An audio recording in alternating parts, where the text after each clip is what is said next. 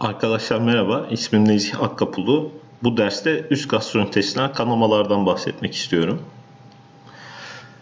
Gastrointestinal kanamalar hastanelere acil başvuruların %1-2'sinin nedenidir. Mortalitesi %8 ile 10 arasında değişmektedir. Tanı ve tedavide gecikmeler ve hatalar mevcut olduğu için bu konunun e, iyi anlaşılması gerektiğini düşünüyoruz. Gastrointestinal sistemde oral kavite ile traç ligamanı arasındaki herhangi bir odaktan kaynaklanan kanamalar üst gastrointestinal sistem kanaması olarak tanımlanmaktadır. Etiyolojisi çok farklılık göstermekle birlikte en sık neden peptik ülser hastalığı, azalan sıklıklarla özofagogastrik varis, erozif gastrit, anjiyodisplazi, maluri Weiss yırtıkları, dilofo lezyonları, malignansi, santral sinir sistemi travmaları sonrasında görülen Cushing ülserleri, geniş yanıklar sonrasında görülen Curling ülser, ülseri, e, Osterweber-Rendu sendromu, anjiyomalar, gastrik antravasküler ektazi, aorta enterik fistül, portal hipertansif gastropati, hemobili, hemosukkus pankreatikus, radyasyona bağlı telenjektazi olarak sıralanabilir.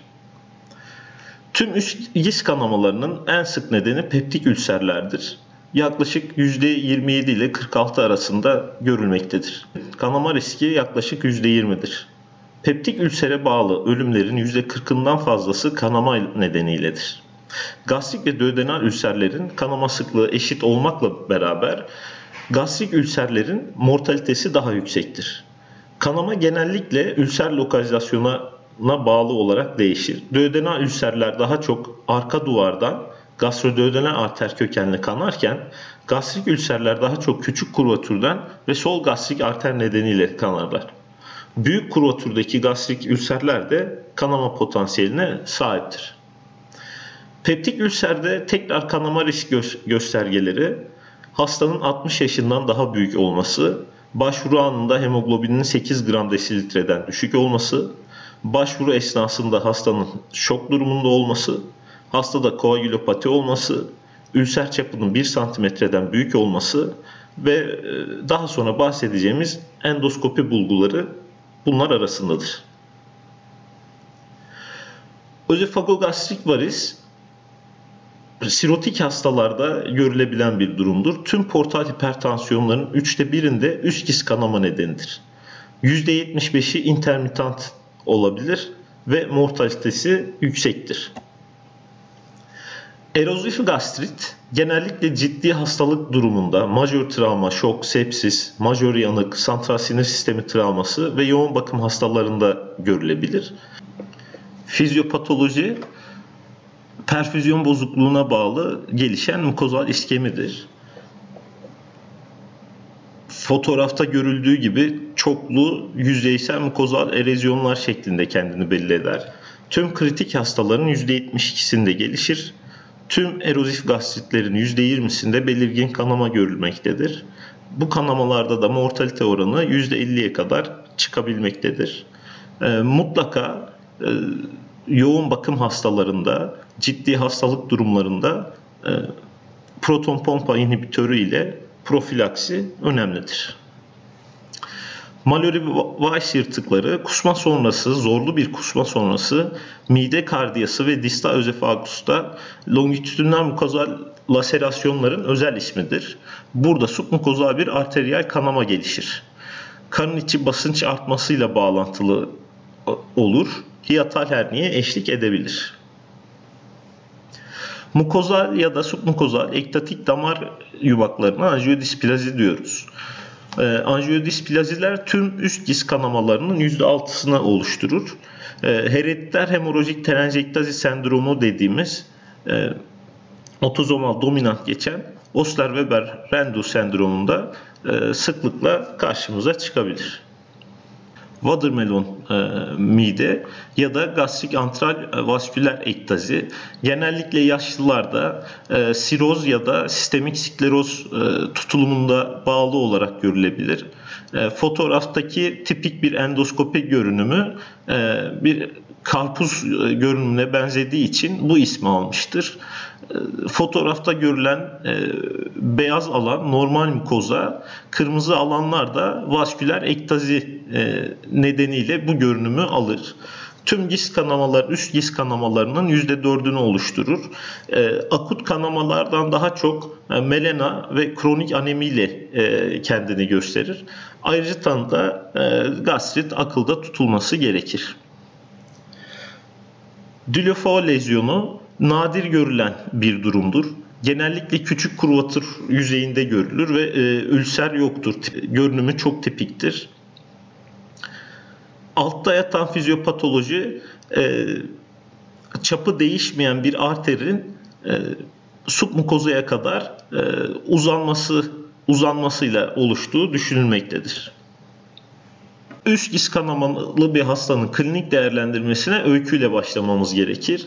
E, ileri yaşlarda e, gelişen üst diz kanama bir malignansi bulgusu e, olabilmekle birlikte e, daha genç yaşlarda gastrit ya da peptik ulkus hastalığı düşünülebilir. E, kanamanın şekli ve rengini sorgulamamız gerekir. E, hematemes e, kanlı kusma demektir. Kahve telvesi renginde bir görünümü vardır ve daha çok özefajitlerde hematemes oluşabilir. Melana gaytanın katran gibi siyah ve kendine özgü kötü bir kokusu olması hali. Bu kanın sindirildiğinin göstergesidir ve melana gelişebilmesi için midede yaklaşık 50 mililitre kanama olması yeterlidir. E, melana kanama bittikten sonra bile e, 3-4 gün daha e, sürebilir. E, hematokezya e, kanlı dışkılama e, demektir. E, kanlı dışkılama genelde bir alt giz e, kanama bulgusudur ama e, aorta enterik fistül gibi abondan üst giz kanama durumlarında da çok fazla kanama durumlarında da hematokezya görülebilir. E, Gayta'da gizli kan e, daha çok e, uzun dönem e, kronik e, kanamalarda kendini belli eder. E, akut abondan kanayan hastalarda e, hipovolemi belirtileri e, olmaktadır. Ayrıca e, karın ağrısı, kilo kaybı, dispepsi, burun kanaması, öğürme gibi e, bizi tanıya götürecek soruları sormamız gerekir. E, hastanın non-steroid antiinflamatuar kullanımı, steroid kullanımı anti, antikoagülan, antiagregan kullanımı, hastanın e, özgeçmişinde peptik ülser, portal hipertansiyon, kronik karaciğer hastalığı, kronik böbrek hastalığı e, gibi e, kanama diyatezine bozabilecek hastalıklar e, sorgulanmalıdır. Pulmoner ve kardiyak hastalıklar mutlaka sorgulanmalıdır. E, fizik muayene, fizik incelemede öncelikle hastanın yaşam bulgularının değerlendirilmesi gerekir. Ee, eğer e, hasta e, taşikardikse, filiform bir nabız varsa, tansiyonu ölçülemeyecek kadar düşükse, hipotansifse bu mutlaka resütasyona erken dönemde başlanmalıdır ve bu kanamanın e, bu durum kanamanın e, çok fazla abondan olduğunun bir göstergesi olabilir. Dediğimiz gibi mutlaka e, tedaviye erken başlamamız gerekir. Ee, bunun için e, hastayı e, monitörize edip yani yaşamsal bulgularına, e, idrar çıktısına bakmamız gerekir. Damar yolu açılması ve intravenöz hidrasyonun erkenden sağlanması ve erken dönemde kan hazırlatılması erken tedavinin prensiplerindendir. Ayrıca e, fizik muayenesinde e, ikinci aşamada e, karın muayenesi, e, karında bir e, hassasiyet, epigastrik bir hassasiyet, e, duodenal kanama ya da e, gastrik ülser kanaması için e, bir bulgu verebilir. E, cilt muayenesinde e, cildin e, nemli e, olması bir bizi şok e, hemorajik şoku düşündürebilir. Rektal muayenede e, göreceğimiz melena ya da hematokezya e, bize bir fikir verebilir. E, nazogastrik aspirasyon ve lavajla e, kanamanın devam edip e, etmediği, aktif olup olmadığı e, hakkında bir e, ön değerlendirme, ön bilgi e, verebilir. Üst disk kanaması olan hastada mutlaka e, hemoglobinine, trombositine, kanama zamanına e, bakmamız gerekir. E, kesin tanıyı koymak için üst endoskopi, anjiyografi ve kanama sintigrafisi gibi yöntemler kullanılması gerekebilir. İlk ve en önemli tanı yöntemi endoskopidir. Tanı gösterilse de şüphelenilse de tanı netliği %95'in üzerindedir ve endoskopi ilk 12 saat içerisinde yapılırsa tanı netliği artar. E, komplikasyonu oldukça e, düşük bir yöntemdir. E, endoskopi hem tanıyı koymada, kanama hızını değerlendirmemizde ve tekrar kanama riskini değerlendirmemizde bize çok faydalı bilgiler verir ve en önemlisi tedavi içinde endoskopi gereklidir. Endoskopide tekrar kanama riski göstergesini e, Forest sınıflamasına göre yapıyoruz. E, buna göre eğer e, endoskopide aktif bir sızma görüyorsak tekrar kanama e, riski çok yüksektir. %90 civarındadır. Visible vessel dediğimiz e, kanamayan e, bir e, damar görüyorsak, tek başına damar görüyorsak e, tekrar kanama riski %50 civarındadır. E, yapışmış pıhtı varsa e, %10-33 ve temiz tabanlı bir ülser görülüyorsa %3 ile 5 arasında tekrar kanama riski mevcuttur. Anjiyografi nadiren gerekli olabilir. Çölyak arteriyografi yapılarak e, kanayan damarın e, yeri e, anlaşılır. E, anjiyografinin e, kanamayı gösterebilmesi için kanamanın 0,5 mililitreden daha fazla olması gerekir anjiyografi sadece tanısal değil, e, işlem esnasında embolizasyon yapılarak tedavi de sağlayabilir. Üst gastrointestinal sistem kanamalarında mortalite ve morbiditeyi arttıran e, bazı faktörler vardır. E, bunlar yeniden kanama riskini arttıran faktörlerle benzerlik gösterir. Eğer hastanın yaşı 60'ın üzerindeyse Hasta e, başvuru esnasında e, şok durumundaysa, hematemezi, hematokezyası varsa, 6 üniteden fazla transfüzyon ihtiyacı varsa, koroner arter hastalığı, kronik obstrüktif akciğer hastalığı, akut pulmoner yetmezlik, kronik böbrek yetmezliği, siroz, akut hepatik yetmezlik, sepsis, çoklu organ yetmezliği, koagülopatisi, çoklu travması, majör yanığı, malignensisi immünsüpresyon durumu varsa ve bu üst gastrointestinal kanama post operatif dönemde e, gelişmişse e, mortalite ve morbiditenin daha yüksek olması beklenir. Tedavide öncelikli amaç hemodinamik stabilizasyon e, sağlamaktır. Önceden de belirttiğimiz gibi hasta yakın monitörize edilmeli, kan hazırlıkları yapılmalı, e, IV damar yolu e, açılarak hemen sıvı tedavisine gecikmeden başlanmasının yanında mutlaka H2 reseptör blokörleri ve proton pompa inhibitörleri e, infüzyon şeklinde verilmesi gerekir. Sandostatin infüzyonunun yeri e, tartışmalıdır. Endoskopi tedavinin neredeyse olmazsa olmazıdır. Ee, endoskopik girişimlerle durmayan kanamalarda anjiyografi kullanılabilir. Özellikle özefagogastrik varis e, kanamalarında e, artık tarihsel bir önemi olan e, Sangstaken Blakemore tüpü fotoğrafta gördüğünüz gibi Foley kateterine benzer şekilde kanayan alanın üstüne mekanik bası yaparak kanamayı e, durduran bir yöntem e, olarak e, kullanılmıştır. E, ve bu girişimlerle durmayan kanamalarda e, mutlaka cerrahi düşünülmesi gerekir.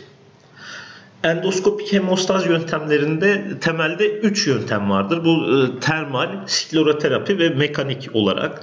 E, termal yöntem E, koagülasyon e, temelde koagülasyondur. Bipolar, monopolar koagülasyon, lazer, argon plazma koagülasyon bunların içindedir. Skleroterapide e, kanama alanına e, enjeksiyon yapılır. Bu enjeksiyonda e, kullanılan ajanlar epinefrin, alkol, etanol amin, siyanoakrilat, trombin ya da fibrin olabilir. E, ayrıca mekanik olarak da kanaması görülen e, damar kliple, bant ligasyonuyla ya da endolupla e, tutulup kanama kontrolü sağlayabilir. Peki hangi durumlarda acil cerrahi endikasyonları vardır? 24 saatte 1500-2000 cc kan transfüzyonu gerekliliği yani masif transfüzyon gerekliliği varsa acil ameliyat endikasyonu vardır. Reküren kanamalarda acil ameliyat endikasyonu vardır.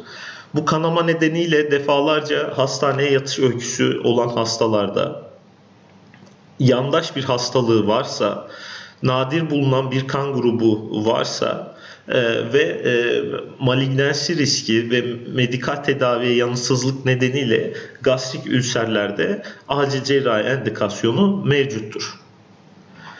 Ee, üç çeşit cerrahi yöntem vardır. Ee, üst gastrointestinal sistem kanamalarında kanamanın yerini e, değişmekle birlikte. Ee, en sık gördüğümüz duodenal ülser kanamalarında bahsettiğimiz gibi arka duvardan ve gastroduodenal arterden e, kanama olabilir. İlk cerrahi yöntem e, kanamaya primer sütür konulmasıdır. Bu şekilde gördüğümüz gibi e, duodenal ülser kanamalarında e, duodenum'un ön duvarından bir duodenotomi yapılarak arka duvarında e, kanayan alana e, 3-4 ayrı primer sütürasyon uygulanabilir. İkinci cerrahi seçeneğimiz definitif ülser ameliyatlarıdır. E, bu ameliyatlarda e, ameliyatın temeli vagotomiye dayanır. E, vagotomi yapılarak e, mide asititesini e, azaltıp e, ülseri kontrol altına e, tutmak amaçlanır. E, ama vagotomi yapıldığında e, pilorik disfonksiyon olacağı için e, mide boşalma sorunu yaşanacağı için e, bir de drenaj ameliyatı eklenebilir. E, buradaki resimde e, görüldüğü gibi e, vagusların sağ ve sol vagusun e, ana dalından e, transekte ediliyor. Buna e, trunkal vagotomi e, deniyor. E, bu şekilde de e, vagusun e, selektif e, olarak e, vagotomisi e, resmedilmiş. 3-4 e, çeşit e, drenaj e, ameliyatı vardır. Hepsinde de piloroplasti dediğimiz pilorun şeklinin bozulup yeniden şekil verilmesi şeklinde özetlenebilir. Ee, üçüncü cerrahi şekli de e, gastrektomidir. Bu gastrektomi e, bu şekilde görüldüğü gibi e, subtotal bir gastrektomi olabilir. Sonrasında rekonstrüksiyonu bu şekilde görüldüğü gibi gastroduodenostomi yani bilirot bir ameliyatı ya da gastrojejinostomi yani bilirot iki ameliyatı olabilir. E, ya da çok e, yaygın bir kanaması varsa ya da e, proksimal bir e, midenin proksimal yerleşimli bir kanamasıysa e, total gastrektomi de cerrahi bir seçenek olarak karşımızda bulunmaktadır. Beni dinlediğiniz için teşekkür ederim.